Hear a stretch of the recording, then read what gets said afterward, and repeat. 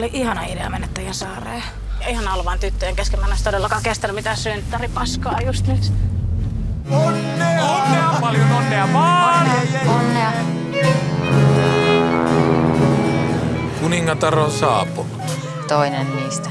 Onks toi se Vedu sit Viikinkisarjasta? Det här är Mikael. Ei. Oh, I'm Johanna.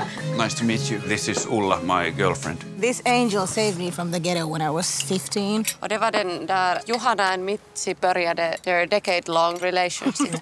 This sounds juicy. Sä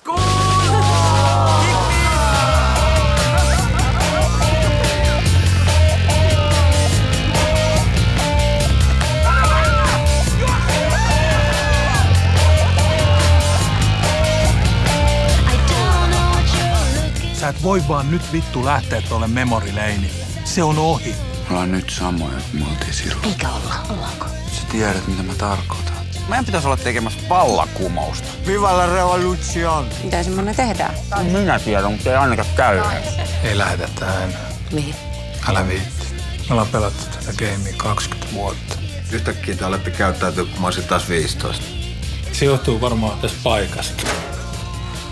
Mä oon niin pahoillani. Teit sä sen tahallas? This group has the tendency to bring out the worst in people. Voisitko kelaa, että me ollaan vieläkin tässä? together